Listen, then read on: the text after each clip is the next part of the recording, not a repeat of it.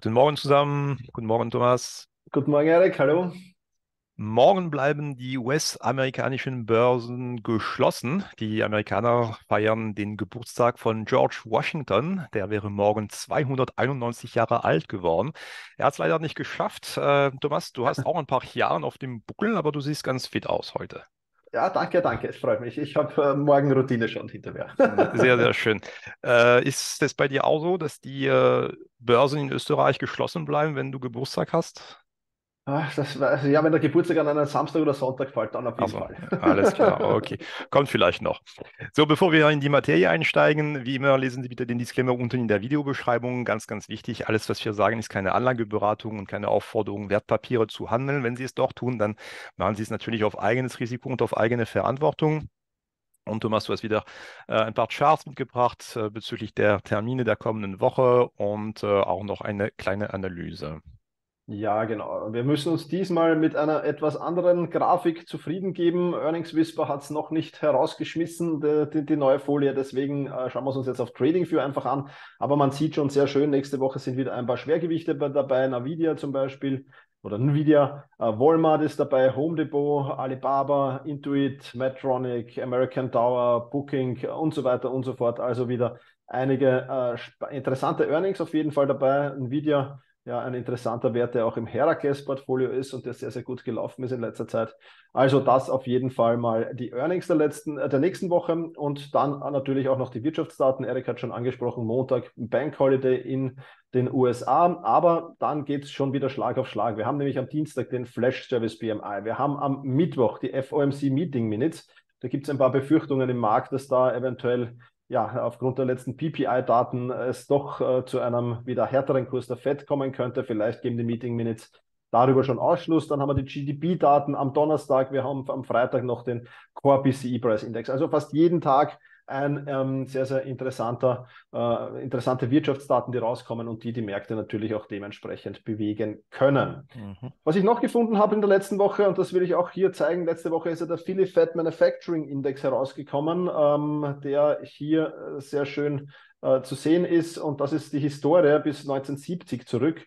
Und äh, man sieht, und dieser Philly Fed Manufacturing Index ist, glaube ich, auf einem Wert von 24 gelandet, aber man sieht, dass dieser 24, wenn man da einen Strich zieht, das ist dieser Strich hier, ich mache ihn mal grün, dass immer, wenn äh, der Philly Fed Manufacturing Index drunter gefallen ist, eigentlich eine Rezession gekommen ist. Das war 1970 so, 73 bis 75 ein bisschen verspätet erst, auch hier 80, 81, 82. Also jedes Mal, wenn hier dieser darunter gefallen ist, dann ist irgendwann früher oder später die Rezession gekommen. Und ja, ob es diesmal auch so sein wird, wird sich natürlich zeigen. Noch steht er so ein bisschen an der Kippe.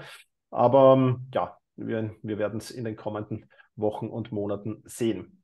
Das war es schon wieder von meiner Seite, Erik. Und damit freue ich mich schon auf deine, deine Punkte.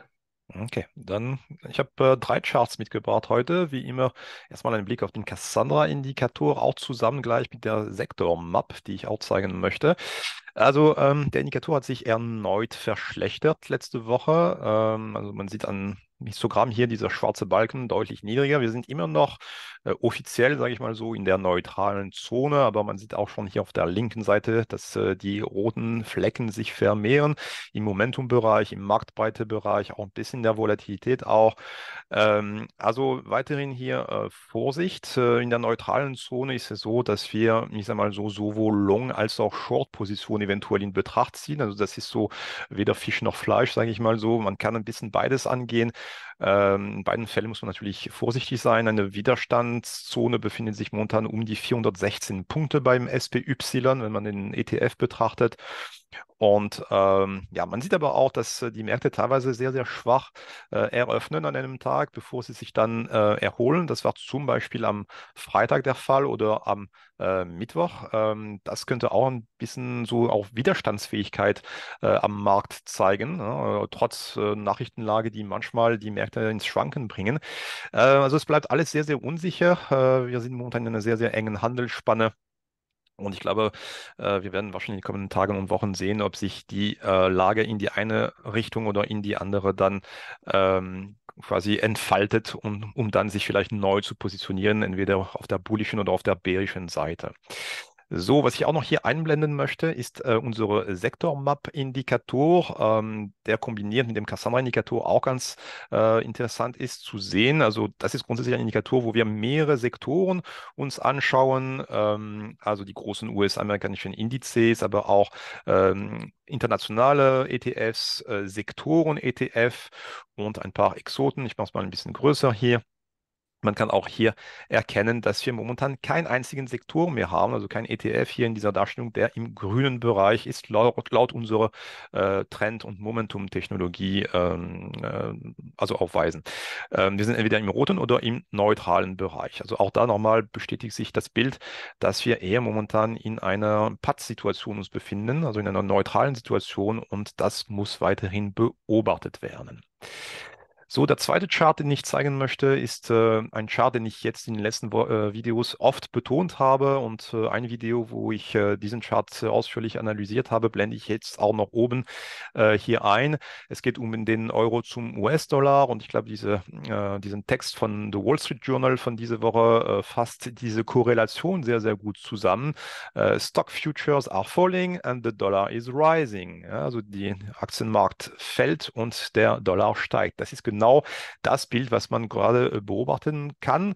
Ähm, hier, das ist der Verlauf des Euro zum US-Dollar. Man sieht, dass der Euro tatsächlich ein bisschen an Wert verloren hat. Das ist übrigens jetzt ein Wochenchart. Das heißt, jede Kerze stellt eine Woche dar. Ähm, es ist auch noch, noch nicht so stark ausgeprägt, aber man sieht eine kleine Schwäche im Euro. Das bedeutet hier in dem Fall eine Stärke im US-Dollar gegenüber dem Euro. Man sieht, dass das Momentum des Euro gerade auch ein bisschen am Abflachen ist. Und in der technischen Analyse, das ist dieser berühmte oder bekannte Indikator, den ich oft zeige hier von TradingView, sind wir immer noch auf Wochensicht im positiven Bereich. Also da, da auch kann man noch nicht so sagen, es, es gibt jetzt eine klare Trendwende äh, in diesem Währungspaar oder eine klare Trendwende im Aktienmarkt, aber es muss weiterhin auch beobachtet werden, weil wie gesagt, eine, ein stärkerer Dollar äh, würde aus meiner Sicht bedeuten, dass die Aktienmärkte äh, fallen würden. Ja? Der US-Dollar gilt als sicherer Hafen. Ob das sinnvoll ist oder nicht, steht auf einem anderen Blatt. Aber wie gesagt, wenn die Märkte fallen sollten, könnte man tatsächlich eine ähm, Verstärkung, ähm, Verstärkung des US-Dollars dann beobachten. Und das könnte auch ein bisschen als, als Signal fungieren für den weiteren Verlauf der Märkte. So, und dann komme ich zu dem nächsten Chart. Ähm, Thomas, ich weiß nicht, ob du dir ab und zu eine Handtasche von Gucci oder Schuhe von Prada kaufst. Nein, leider da kann ich nicht damit dienen. Nein, okay, aber vielleicht äh, Luxusaktien dann. Das schon eher, ja. Also LVMH oder so, das passt schon, ja. Ja, also äh, die Botschaft heute ist, äh, egal ob Sie äh, Luxusaktien kaufen oder nicht, ob Sie auch Luxusartikel kaufen oder nicht, Luxusaktien sollte man auf jeden Fall auf dem, auf dem Schirm haben und sie ab und zu beobachten, da, weil sie Auskunft geben könnten, wie der weitere Marktverlauf aussehen könnte. Also, was wir hier auf diesem Chart sehen, ist ähm, das Verhältnis zwischen zwei ETFs. Diese ETFs erkläre ich auch gleich. Ähm, der eine ist der RHS und der andere ist der RCD. So, und der RHS ist ein ETF, der ähm, defensive Basiskonsumgüter beinhaltet, beziehungsweise Aktien von Unternehmen, die Basiskonsumgüter ähm, herstellen. Und der RCD ist ein ETF, der eher Luxusaktien äh, beinhaltet, beziehungsweise Aktien von Unternehmen, die jetzt nicht zum alltäglichen Bedarf äh, gehören. Ich habe hier nochmal hier die Darstellung der Holdings oder der Top-Holdings von diesen zwei ETFs. Also hier nochmal der RHS, da sieht man zum Beispiel Aktien von ähm, also Church and Dwight, das ist auch mm, also Produkte aus dem Alltag, äh, Tabakunternehmen, Clorox kennen wir auch, Supermärkte, also alles äh, defensive Werte. Und äh, im RCD sieht man zum Beispiel Aktien von Kreuzfahrtunternehmen, von Casino, von ähm, also äh, Urlaub, Tapestries, auch ein Luxusunternehmen äh, und so weiter und so fort. Also eher so Güter, die man jetzt nicht im Alltag braucht. Ähm, für diejenigen, die sich ein bisschen mit den Sektoren auskennen, werden sie, sie werden vielleicht erkennen, aber eigentlich könnte man auch den XLP in Betracht ziehen für die defensive Basiskonsumwerte oder den XLY für die Luxuswerte. Und das ist auch richtig. Und diese zwei äh, ETFs sind auch für Optionshändler äh, äh, sehr gut, weil sie auch eine gute äh, Handelbarkeit aufweisen in Sachen Optionen. Aber der äh, XLP zum Beispiel, der, der Pendant zum RHS wäre, äh, besteht zu 30 Prozent aus drei Aktien, Procter Gamble, PepsiCo und Coca-Cola. Ja, und das ist keine besonders gute Streuung. Also das ist nicht so wirklich ausgeglichen. Der RHS ist ein gleichgewichteter ETF. Sie sehen auch hier, dass die Gewichtung der einzelnen Aktien fast identisch ist, so um die drei Prozent. Und das macht die Streuung im Rahmen dieses ETFs ein bisschen sinnvoller, sage ich mal so. Und der XLY, also dieser Luxus-ETF oder Discretionary ETF auf ähm, Englisch, ist das Pendant zum RCD und der besteht zu 38 Prozent aus zwei Aktien, Tesla und Amazon. Auch nicht so ganz ideal, wenn man, sage ich mal, den, den Luxusbereich ein bisschen ausführlicher äh, abbilden möchte. Und der RCD ist hier gleichgewichtet. Auch hier sieht man, dass man ungefähr 2% pro Aktie in diesem äh, ETF sieht. Und die Top 10 Aktien machen nur 20% des Gesamt-ETFs aus. Es gibt noch viel mehr, viel mehr Aktien hier in diesem ETF als diese 10, die man hier sieht. Ja, also das ist nun mal zur Erklärung der Logik. Jetzt kommen wir zu der Kurve selbst und warum diese Kurve interessant ist zu beobachten. Also man sieht, dass die Kurve ab und zu steigt und fällt. Ähm, wenn die Kurve fällt, also diese blaue Kurve hier, dann bedeutet es, dass der defensive Sektor sich schlechter entwickelt als der Luxussektor, der als risikoaffiner gilt. Ja? Und wenn diese blaue Linie steigt, dann bedeutet es, dass die Marktteilnehmer eher in den defensiven Sektor flüchten und sich von den riskanteren Aktien, also von den Luxusaktien ein bisschen verabschieden. So, und wenn ich das mit dem S&P 500 vergleiche, ich blende jetzt diese rote Linie ein. Das ist der Verlauf des SPY, also des S&P 500. Sieht man ganz klar diese negative Korrelation. Man sieht, dass wenn man weniger Lust hat, in defensiven Aktien zu investieren, wenn man eher bereit ist, riskantere Aktien auch einzugehen oder in diese Aktien zu investieren, dann steigt auch entsprechend der Markt. Ja? Also die Risikoaffinität nimmt zu. Andersrum, wenn der Markt schwächelt, ja, also sieht man auch hier sehr schön im ganzen Jahr 2022, dann flüchten die Marktteilnehmer in diesen defensiven Sektoren, kaufen eher Aktien von Unternehmen, Unternehmen, worauf man eigentlich gar nicht verzichten kann. Ja, also äh, äh, Produkte aus dem Alltag, Reinigungsmittel und so weiter und so fort. Und das zeigt hier diese blaue Linie. Diese defensive Aktien äh, verhalten sich oder äh, verlaufen stärker als die Aktie aus dem Luxus- oder Nicht-Basiskonsumgüterbereich. Ähm, und momentan ist es so, wir haben jetzt seit äh, Ende Dezember oder sogar Mitte, ja, ich sage mal so, das ist ein Wochenchart, äh, seit Mitte Dezember steigende Märkte. Das haben wir ja beobachtet und tatsächlich sieht man auch hier diese blaue Linie, wie sie schön fällt. Das heißt, man verabschiedet sich von dem defensiven Sektor und geht ein bisschen in die riskantere Aktie ein. Ähm, interessant ist es zu sehen, wenn diese, dieses Verhältnis kippt.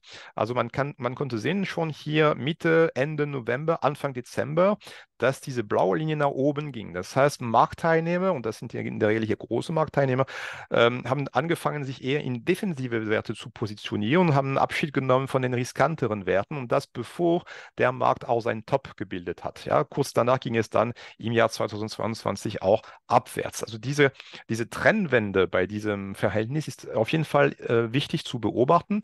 Man konnte es auch äh, Anfang 2020 beobachten. Also zum Beispiel hier äh, Mitte, Ende äh, Januar 2020 und dann auch noch im Februar 2020 hat man gesehen, dass die Marktteilnehmer sich Schritt für Schritt auch in defensive Werte positioniert haben, bevor es dann an den Märkten richtig kollabiert hat. Ja. Also das ist auf jeden Fall ein sehr, sehr interessanter und einfacher Indikator, den kann man sehr, sehr einfach in TradingView abbilden. RHS slash RCD und schon hat man dieses Bild hier dargestellt. Ja, und momentan ist es so, wir haben hier einen kleinen Knick nach oben gesehen in den letzten Wochen könnte eventuell auf eine bevorstehende Schwäche im Markt hindeuten.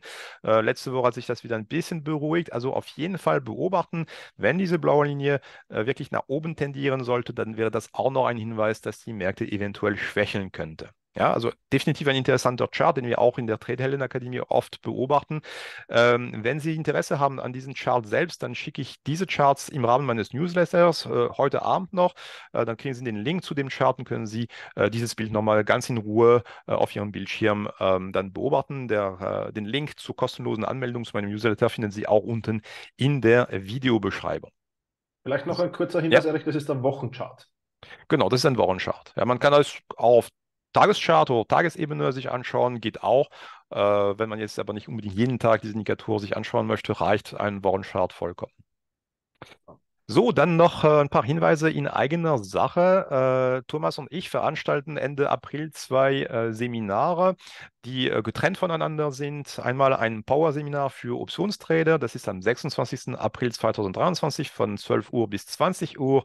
Äh, findet, wie gesagt, in, ähm, in Hamburg statt. Und da werden wir zwei ähm, Optionsstrategien darstellen, äh, die Icarus-Strategie und den asymmetrischen Diagonalspread. Das sind wirklich Optionsstrategien für Fortgeschrittene äh, und für ähm, Deutsche nur für Trading GmbH geeignet für Österreicher und für Schweizer für jeden geeignet.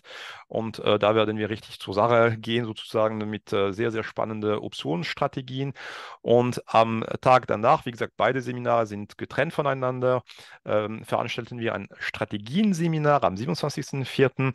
Und dieses Seminar ist für alle Anleger geeignet, egal ob sie Optionen, äh, Aktien oder ETF handeln. Äh, und da müssen sie auch nicht fortgeschritten sein in dem, was sie tun. Es ist wirklich für jeden Trader geeignet. Und da werden wir äh, vor allem äh, sechs Strategien zeigen, die für jede Marktlage und für jeden Trader geeignet sind. Ich gehe kurz mal darauf ein. Also wir haben eine Momentum-Strategie mit Monatschart, also typischerweise eine Strategie, äh, wo Sie äh, ganz ruhig einmal pro Monat sich die Charts anschauen und eventuell dann Ihre Trades platzieren. Das bedeutet überhaupt keinen, also kaum Aufwand. Ähm, dann eine Inflation-Deflation-Strategie, also je nachdem, wie die Inflation momentan aussieht und wie sie sich beschleunigt oder entschleunigt, was könnten die Trades sein, die man da eingehen kann. Wenn Sie gerne Schwellenländer auch handeln möchten, also Emerging Markets, haben wir auch da eine Timing-Strategie vorbereitet. Dann haben wir ein Sektor-Rotationsmodell zwischen US-amerikanischen Aktien und nicht US-amerikanischen Aktien, also welcher Sektor bzw. welche Länder sind dann zu bevorzugen, je nachdem, was unsere Signale Signale ergeben.